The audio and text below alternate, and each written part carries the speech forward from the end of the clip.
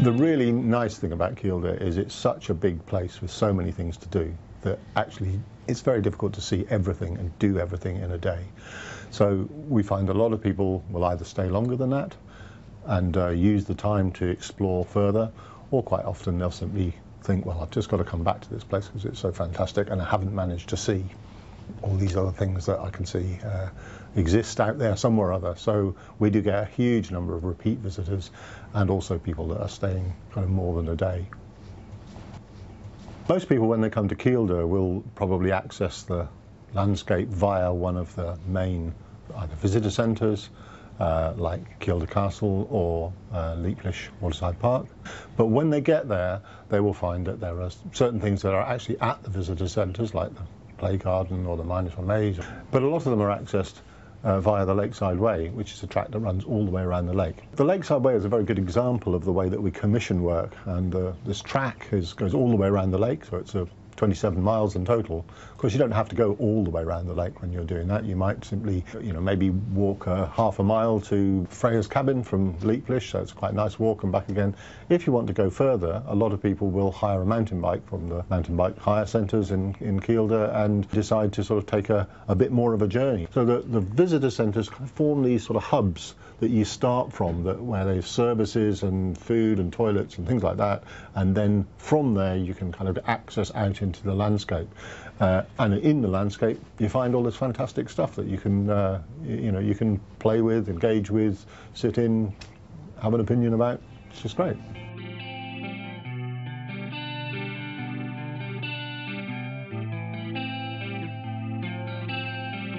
The art and architecture program started in 1994. When it first started, it wasn't an art and architecture program, it was a sculpture in the environment program. So the idea was that uh, we would build sculptures in the environment uh, and it, they would provide opportunities for people to do something when they went for a walk at Kielder. So a bit like kind of decorative features in the landscape. But quite quickly, that idea about uh, what the artwork was about uh, developed to become a more substantial part of both what the visitors experienced, but telling them a bit about what the landscape was about. So it's not like interpretation. It's not like a sign that tells you what something is is about or how it works. It's something that is a reflection on the landscape. It's an artist's response to the landscape. So a good example of that might be the wave chamber, which is on the Belling. And when you get there, the artist has created a structure where it isolates a particular experience of Kielder, a particular experience that that artist uh, really liked, which was the way the light bounced off the water. And he's isolated it within this little chamber. And when you go in there, you see this projected on the floor. So the artwork itself is a sculpture, but actually it's also a sculpture that is engaging you very directly with Kielder, and that's a common thread right throughout the art at Kielder. It's it's work that wouldn't happen somewhere else. It's always about something to do with the environment.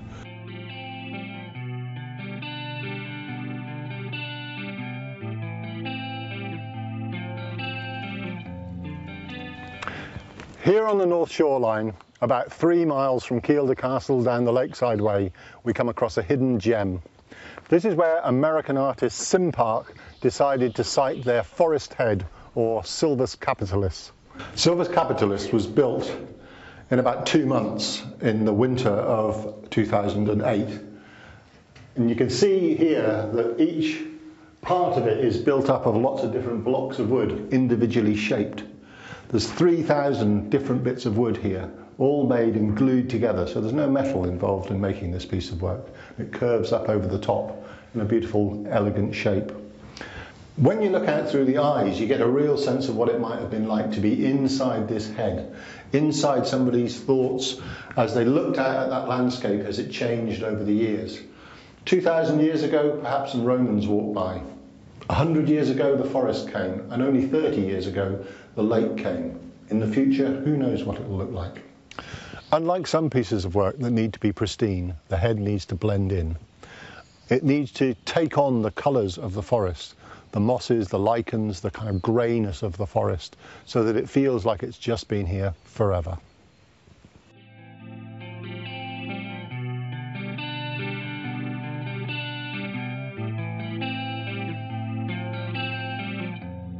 Here we are at Kielder Castle Visitor Centre. Behind me you can see Minotaur Maze, which was designed by an architect and an artist working together. Nick Coombe and Shona Kitchen worked to build this piece uh, that mimics both the castle behind us up on the hill and also the stone wall that surrounds the site uh, for the maze. And here we are inside the maze and you can see at close hand the Gabion construction here, wire mesh that holds it all together and these angular whinstone blocks that are holding uh, the whole wall structure together. You can also see behind me the glass which has come out of old glass kilns. And uh, when it comes out it's been heated up and cooled down heated up and cooled down so much that it comes out and it forms these strange kind of lumps of of green glass that is very very similar in their texture and shape of the whinstone itself. Now the whinstone, as we can see, uh, is a kind of bluish grey colour in the sunlight, but it goes very, very dark when it's wet. So it changes quite a lot, this, uh, this structure. It can look quite brooding and, and, menacing, and then on a day like this, it can look really very light and kind of and playful. We wanted the maze to be not like a green, sort of light country house kind of glowing thing. We wanted it to feel a little bit dark and a little bit scary, a little bit menacing, but good fun at the same time. So the designers were interested in producing a building that had all the features of a house, well apart from its roof, it had doors and windows and uh, staircase and corridors taken apart and reassembled in a way that would provide a, a, a variety of different entertaining uh, environments for people to walk through. And of course, right in the middle, there's the central room with all the coloured glass in it.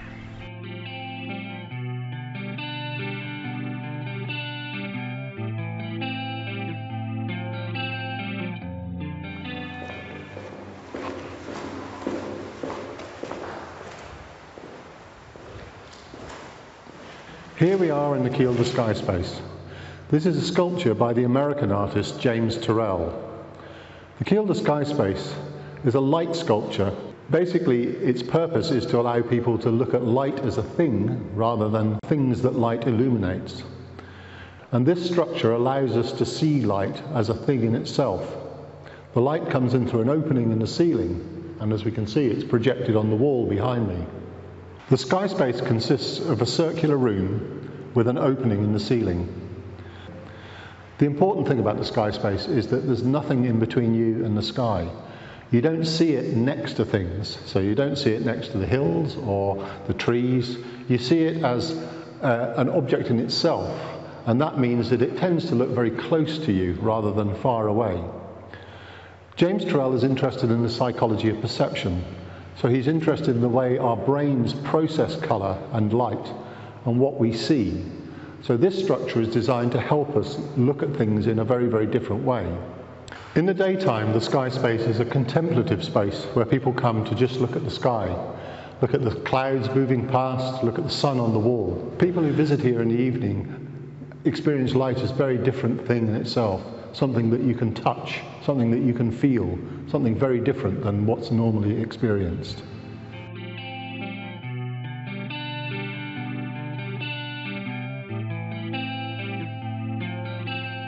Robin and Freya are two cabins that sit on either side of the lake. This is Freya's cabin.